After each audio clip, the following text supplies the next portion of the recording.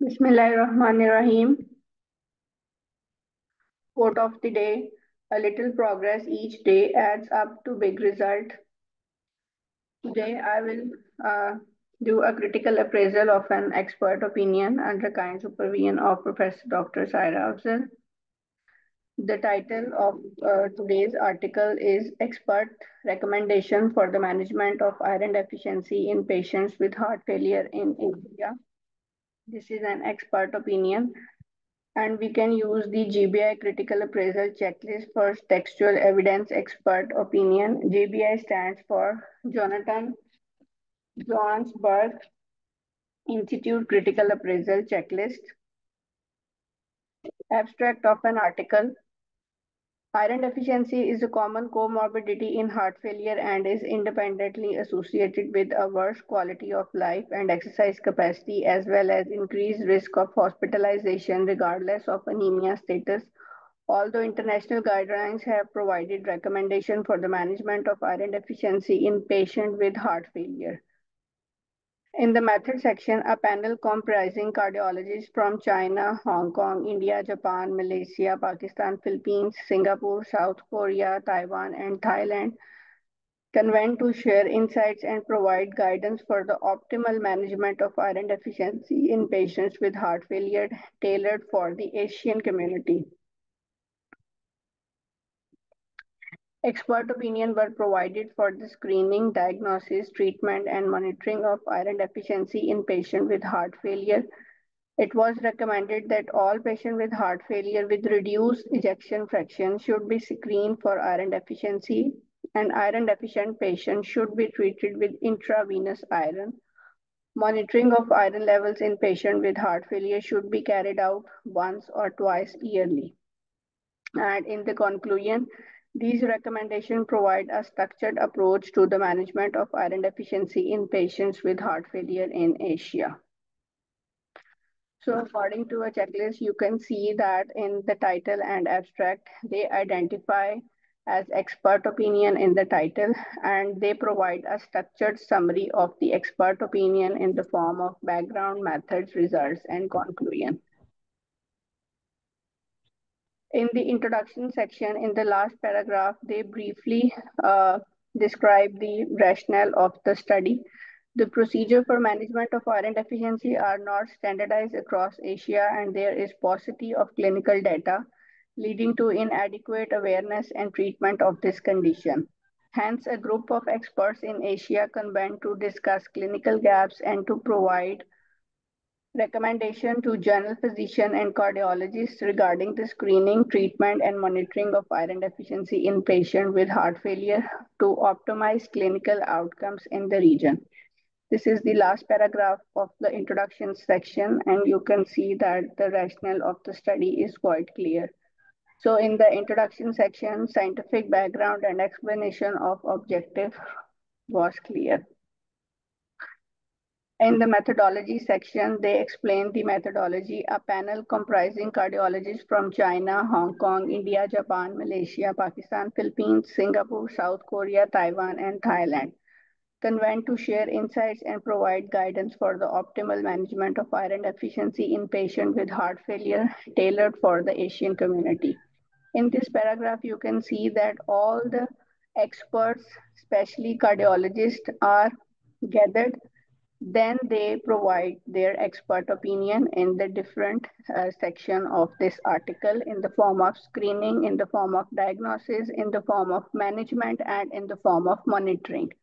A PubMed search was conducted for available scientific data and literature, including meta-analysis reviews as well as global and Asia Pacific specific clinical trials.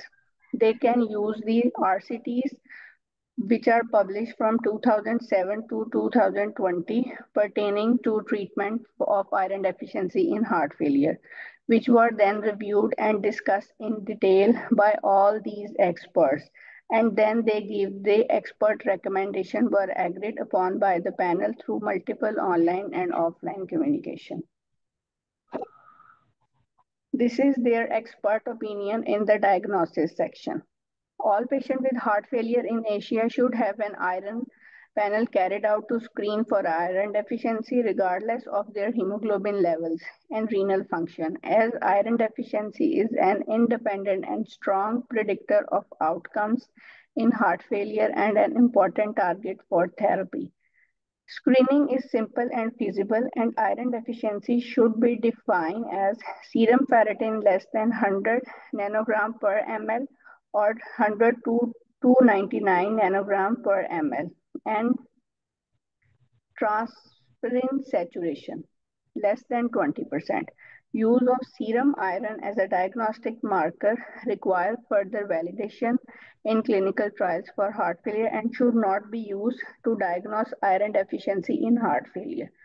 So three things are required for diagnose the iron deficiency in heart failure. One is serum ferritin, uh, only two things. One is serum ferritin and other is transferrin saturation, not serum iron.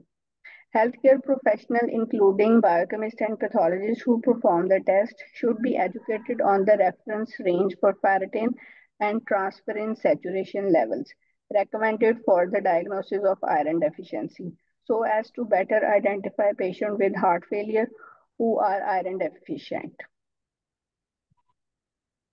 These are the summary of selected clinical trials that are used in the uh, study and in which you can see that all are the RCTs and there are different therapies of heart failure with iron are going in uh, these RCT trials and in these patients there is IV iron sucrose is given and in these patients IV ferric carboxymaltose is given and in this there is IV ferric.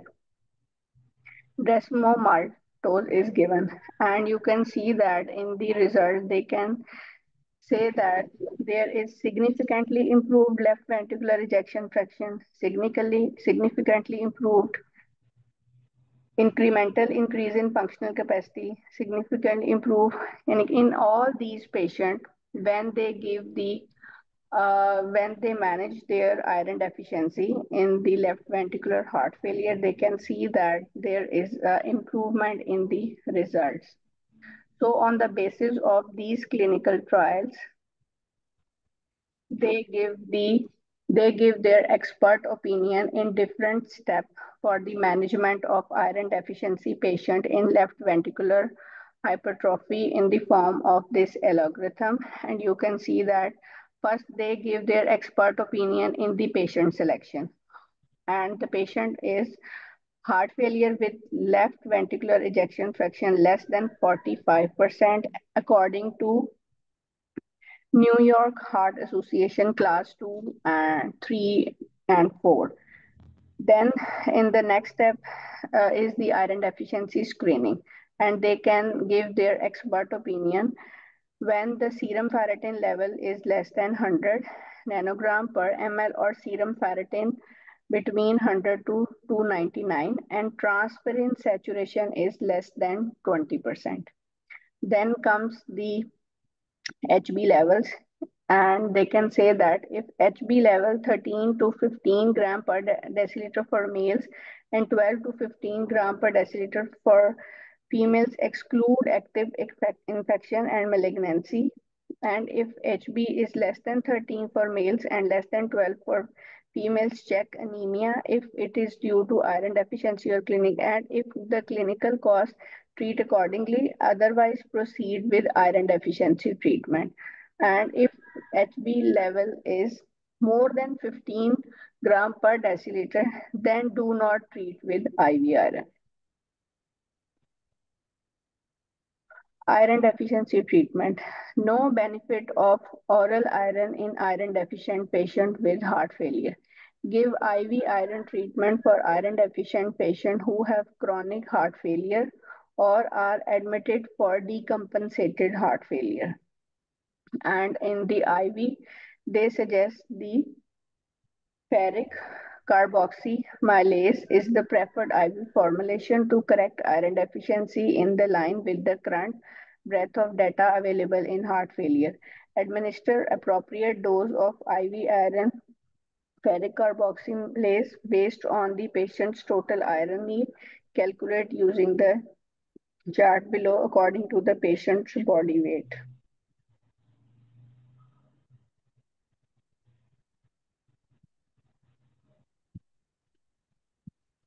And in the monitoring, check serum ferritin and trans saturation and HB level at next appointment, preferably after three months and one to two times per year thereafter, depending on severity of heart failure and iron deficiency. So according to a JBI checklist, the points that are covered in this opinion is was the author a non-expert in the field of being studied? Yes, the all authors were expert in the field of cardiology. And the next question, did the author declare any bias? So there are no bias declared in this uh, expert opinion. Was the patient population problem and or issue clearly described? Yes, in this expert opinion, they well describe about the patient population and their problem and issues. Was a literature search background section included? Yes, there is a literature search and the background section are given, but uh, there is a weak literature because introduction section is too small. Was the background literature clearly described? Yes, the background literature are given, but again, uh, the uh, section of introduction was uh, too small. Uh, they further elaborate by adding some more uh, literature in the introduction section. Was the data range cited uh, literature current and does the range of the data is described? Yes, in the methodology section, they clearly explained that they were used the uh, meta-analysis, systematic review, and randomized uh, clinical trials from 2007 to 2022. So the range was clearly described. Uh, was more than one point of view reported or referred? Yes, there is one, uh, more than one point of view was discussed by, by the author because they give the their expert opinion in all the sections. First, they discuss the screening and then they give their expert opinion. Then they discuss the uh, management section and they give their expert opinion. And then after uh, management, they give their expert opinion in the form of monitoring. So more than one point of view is reported.